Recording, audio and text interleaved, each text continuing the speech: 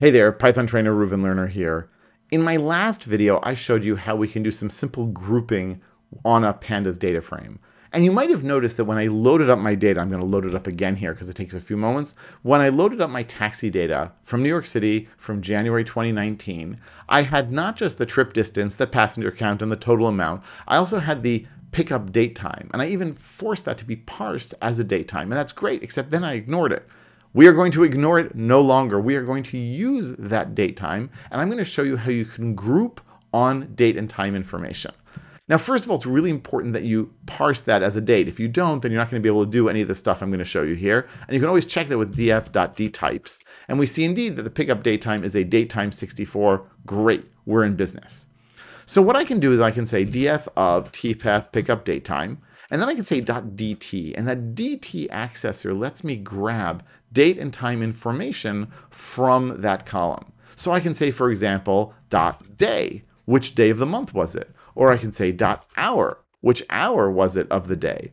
Or I can even do crazy stuff like is month end, and it'll tell me yes or no. Right? I can also there's also stuff you can do pulling out through the DT accessor. It's amazing. It's amazing. So let's say I want to know how, you know, far on average, on average, people traveled at each hour of the day. So how far do people go at 4 a.m. on average versus 5 a.m. versus 6 p.m.? So what I can do is I can say, you know, I'll create a new column, hour. So I'll say df tpep pickup date time dt dot hour. I'll say df of hour equals that. So now that I've created that new column, now I can group on it, right? I can just say df.group by of hour, and then I can say dot mean, and that's going to give me the mean for each and every one of the columns. So I can, for example, get the mean passenger count, the mean trip distance, and the mean total amount. If I want to only get one of those, then I can specify them in square brackets. Oops, didn't want to do that. I can say here, uh, let's call it trip distance dot mean. So what am I doing? I'm saying let's group by the hour. So for every distinct value of the hour, you know, for every hour of the day, find the mean trip distance. And that's exactly what we do, and we get it here. And if I want to, I can even then sort them, right? Because it's a series. So I can do all my standard sorts of things. Haha, dot sort values. And now we find out that the um, the shortest distance people go on average is at 11 a.m. and the longest distance people go on average is at 5 a.m. Still pretty short, right? On 4.2 miles as opposed to 2.4 miles, but fine.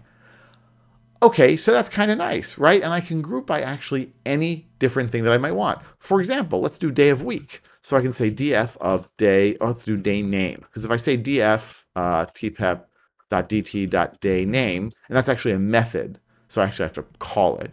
So what I can do is say df of day name equals that, and now I can group by that. That's pretty great. I can say df group by day name, and we'll say here trip distance, and we'll say mean. So on which day of the week do people travel the furthest on average?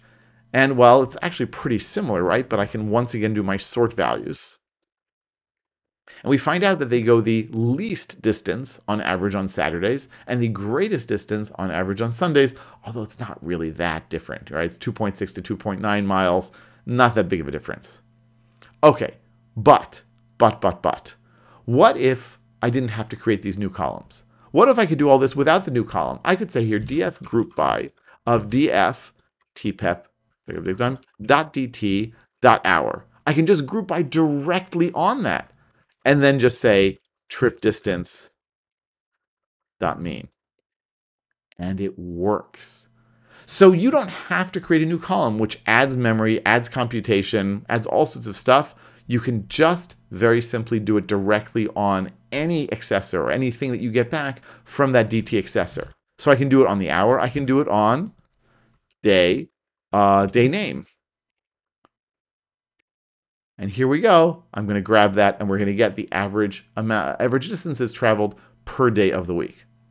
All right, this is just scratching the surface of what we can do with grouping and what we can do with days and times in Python.